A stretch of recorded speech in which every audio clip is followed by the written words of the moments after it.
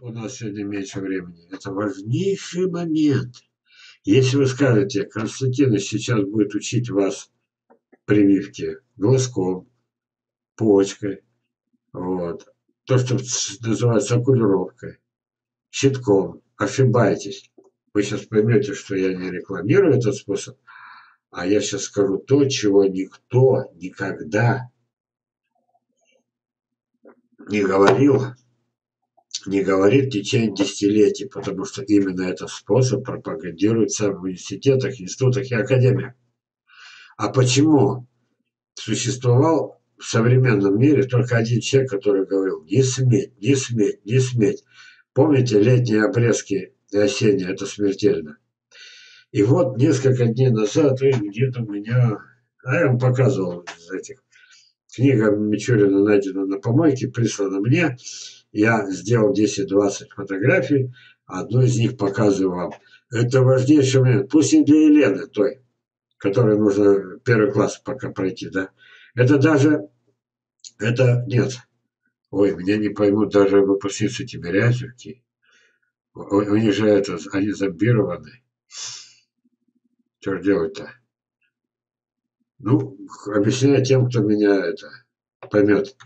А такие могут быть даже тремя классами образования. Вот, казалось бы, в чем связь? Сейчас поймете. Я нашел у Мичурина такую фразу, такой абзац. А ведь опять нас двое, значит, уже а сама ходит поодиночке.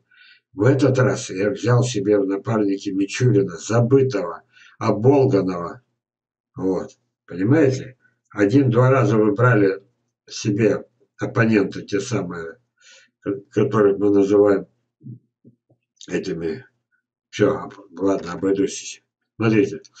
Итак, вначале я вас, это для выше, это уже для будущих студентов, для будущих этих, это студенты будут отвечать на экзаменах. Если он это не знает, почему нельзя делать окулировку? Ну, ветераны знают, но я знаю. Но я надеюсь на новичков, на новичков, на новичков. Вот. А многие из новичков говорят, а у меня высшее образование. Как я удивился, когда мой брат двоюродный мой лучший друг, мой двоюродный брат, мы с ним погодки, мы с ним это... Он типа, да я знал, что он электромеханик, у золотые руки, но то, что он кончил сельхозвуз, я не знал, сельхозвуз, и, он проходил ту же самую программу, что те выпускницы Тимирязи, которые сказали, это ложь, это мошенничество, не получим мы никогда из культурных семян э, эти самые, ничего кроме дичков, вы понимаете? И вот какой народ, а, а таких, как э, мой, мой брат, их же много, и среди нас есть. Смотрите, смотрите внимательно. Что мы будем говорить? В начале ликбез. Лучшие сроки для окулировки. Середина июля по середину августа. Это не секрет, это вы прочтете сто и тысячу раз, тысячи изданий. И везде будет стоять вот это. Так? Ну, а дальше я не буду это читать. А почему? Потому что мы не будем с вами заниматься окулировкой.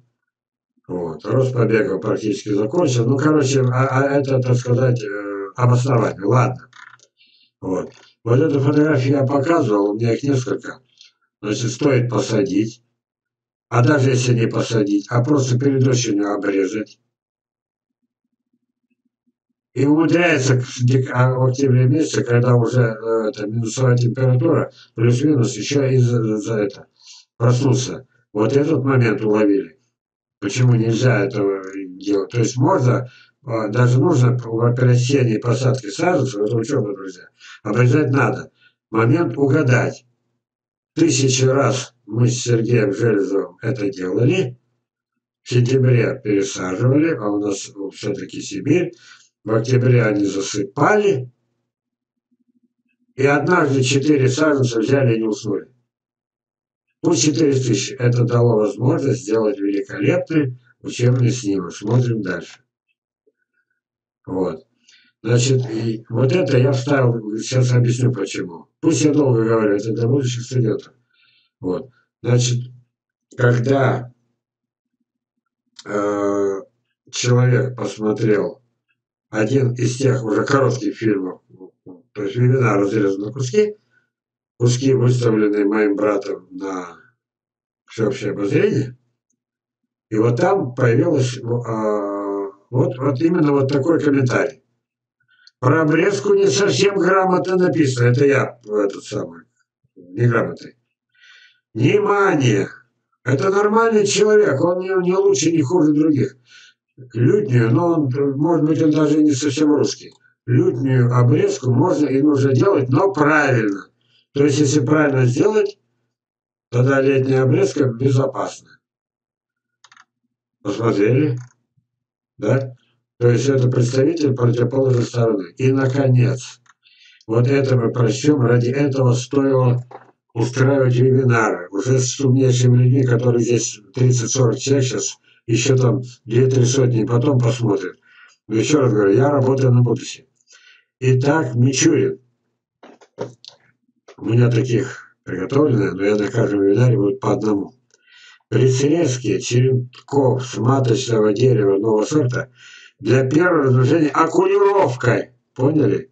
Нужно быть чрезвычайно осторожным в количестве срезаемых черенков, которое ни в каком случае не должно превышать, запоминайте, одной четверти всего количества побегов на дереве. В противном случае при снятии большего количества черенков, в особенности при сырой дождливой погоде, вы помните эти даты? Не поленюсь специально. Середина июля до середины августа. Вот помните даты? Вот. Дальше. Сырой погоде дерево может начать развивать несвоевременно новый прирост вследствие чего осенние морозы захватят его еще с неокончившимся ростом в соку и неизбежно повредят ему. И несмотря на прежде определившуюся выносливость нового сорта, заметьте, как все портит. Дерево может сильно пострадать от мороза как в этом году, так и в следующем. Ну а дальше уже а, а, это идет объяснение. Вы поняли, что такое Мичурин? Это я это делал тысячу раз. Он это делал тысячу раз. Это мы, практики, мы садоводы-любителям с Мичуриным. И вот тут я имею право себя рядом с ним поставить. Я, наверное, не меньше его делал срезов и прививок. Я говорю, 30 тысяч деревьев прививал. Ну, и прививал даже больше, они все пошли. И вот я к чему это говорю.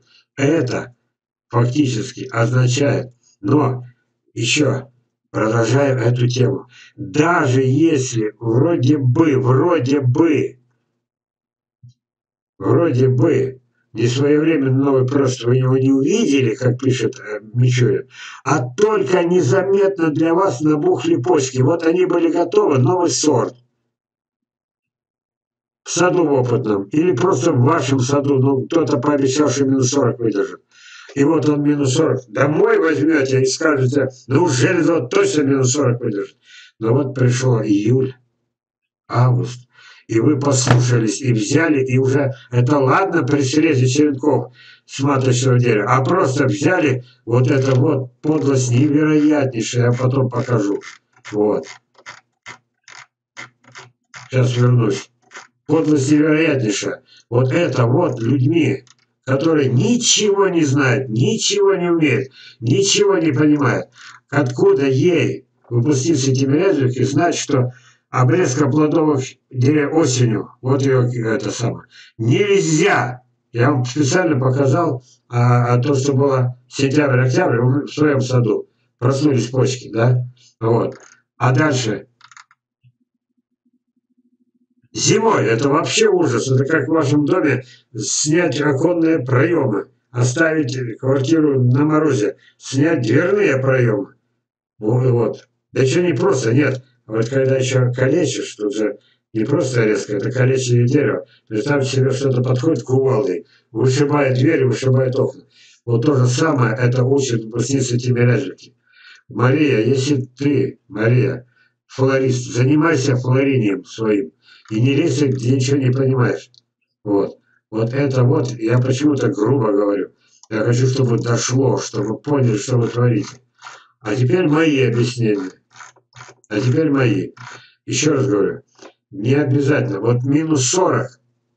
А стоит вам А еще, а вы возьмите, а советов таких тысячи, а их стало, это вот когда монетизировали этот YouTube, и стало, все начали писать, режьте, а чтобы была статья, нужно написать про весеннюю обрезку, про летнюю, про осеннюю, про позднеосеннюю, про зимнюю. И тогда статья, и тогда лайки, и тогда этот самый мани. И вот ради этого, и не имея понятия, что не обязательно, как он пишет, нельзя больше четвертью связать. Нельзя, потому что проснулся и действительно просыпается. Я же ничего не выдумываю. Это в моем саду, но у меня просто дерево, мне Бог такие возможности. А он взяла это, кто-то из отдела, не помню.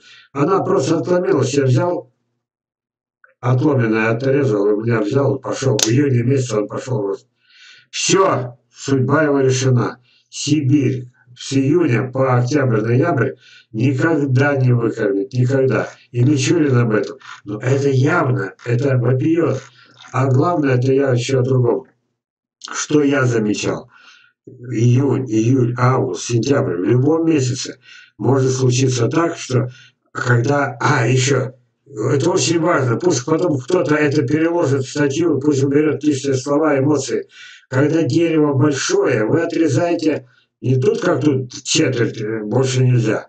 Вы из сотни веток отрезали одну.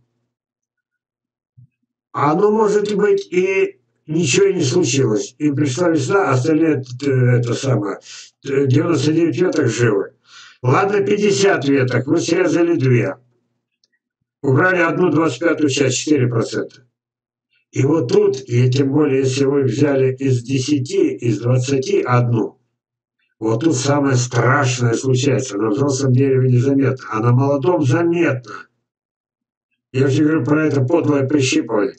Не, тоже нельзя делать. Это то же самое это. Э, прищипывание, та же обрезка. Итак, было минус 40. И Железов обещал минус 40. А кто-то вот прочитал вот это вот, вот это вот, купил книгу, там ниже вот эту книгу, да, вот, и она где-то срезал двадцатую часть. Человек не знает, один я знаю, ну так сложилось, Мичурина нет, один я, что она теперь выдержит не больше 30. Дерево еще, может быть, даже выживет, но дохлеть будет, уже покроется этими насекомыми, покроется э, все, кто будет его уничтожать, да, вот, пропустит урожай. А человек не знает, что он натворил. Они же, я покажу, это тихий ужас, что они творят, вот эти специалисты якобы. Но вы самый принцип поняли, все зависит, э, надо будет перевести, я забыл, не, не догадался, надо будет перевести в постулат, что морозостойкость зависит от количества несвоевременно, пока пусть будет э, устно, несвоевременно летняя осенняя обрезка, при зимней обрезке, может, почки в рост не пойдут, не набухнут. Но там другое, там сразу это, мороз пропадает внутрь. Ведь обрезка на кольцо пропагандируется. Вот. И вот получается, что летняя осенняя обрезка, ее степень морозостойкости определяется количеством отрезанных веток. Вот. Ну и я очень надеюсь, что сегодняшний день прошел не зря. Я как мог рассказал. У меня теперь союзник, величайший союзник. Садовод номер один всей планеты. Почему? Потому что что положено Юпитеру, не положено быку. Мы живем на севере. На юге режьте, что хотите делайте. 40 обработок, и к нам миллионы тонн яблок, груш, персиков, абрикосов, отравленных. Вот. А у меня по-прежнему ни одного грамма травы. Ни одного. Смотрим дальше. Я показал, что такое летняя обрезка. А если бы он обломился в июле, прирост был бы, ну, меньше. А в августе он бы тоже, может, проснулся, ну, еще меньше. А в сентябре могла просто набухнуть почка. Просто набухнуть. Или вот, вот, вот это сентябрь-октябрь. Вот. Смотрим дальше. Осеннее цветение знакомо? Это бич садовый из этих долбанных обрезок. Бич. это дерево осенью зацветает. Караул, спасайся. Вот. А это я уже третий раз показываю. Оно тоже пойдет. Вы понимаете? Это мой забор. Это соседка. Вот. Я кричу, что ты делаешь? Прекрати резать дерево, лето на дворе. Бесполезно. А из вас сейчас об этом знает сколько? Вот сейчас, с учетом того, что я уже пятый или восьмой раз это, кричу об этом, используя разные фотографии. Ну, один из тысячи. А остальные будут продолжать резать. Представляете, друзья, ну какая ответственность на нас? Представляете? У нас нет волонтеров, они есть везде, они помогают медикам, они помогают там старикам. У нас нет волонтеров, которые будут все это распространять, ролики, все, все, все.